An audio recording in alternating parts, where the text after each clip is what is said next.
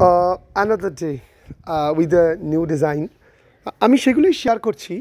uh, যেগুলো আমার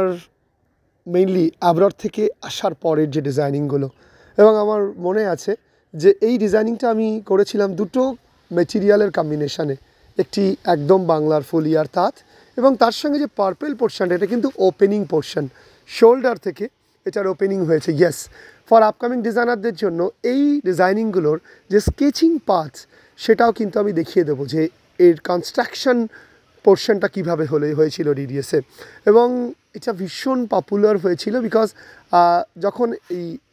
আপনি ওয়ার্ক করবেন মানে এক্ষেত্রে যেমন মডেল গার্মেন্টসটা পড়েছে তো র্যাম্পে যখন ওয়ার্ক করেছিল এটা র্যাম্পের জন্য পোশাক করা, তখন এই যে যে পার্পেল পোর্শনটা ওপেন হয়ে যাচ্ছিল, এবং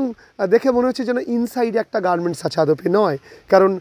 ইন্ডিয়া যেহেতু বিশেষ করে ওয়েস্ট বেঙ্গল প্রচণ্ড এখানে ভীষণ সামার বেস্টন জায়গা। তো সেখানে দাঁড়িয়ে এটাই ভাবা হয় যে, এরকম দুটো লেয়ার দিয়ে গার্মেন্টস করাটা আমাদের মনে হয় ওয়েদারের জন্য সঠিক নয়। তো সেক্ষেত্রে এইরকমভাবেই ভাবতে হবে লুকসটা থাকুক না this is the twin governments baths inside is মানে ultimate things is one garments এবং খুব বিউটিফুল কনসেপ্ট ছিল, ওপরে একদম ভেরি কমফোর্টেবল মেটেরিয়াল ফলিয়ার একদম কমফোর্টেবল মেদিয়ার শুধু যে অংশটা রয়েছে পার্পেল এই পোর্শনটাতে ইউজ পাওয়ার লুম বাট এটাও কটন মেটেরিয়াল ইউজ করা হয়েছিল।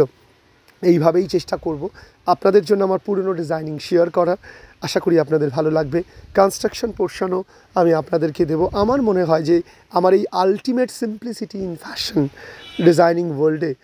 সেটা যদি আগামী দিনের ভারতবর্ষের ফ্যাশন ডিজাইনারদের